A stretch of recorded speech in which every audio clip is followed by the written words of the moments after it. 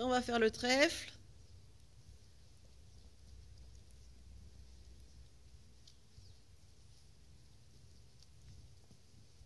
Entre les deux bouchons bleus.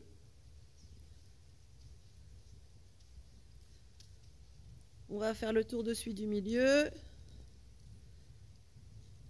Par la gauche.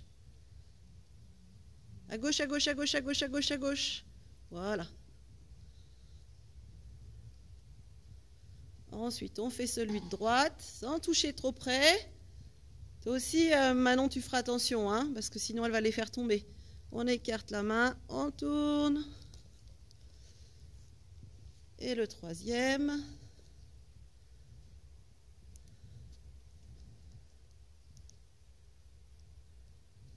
Ok.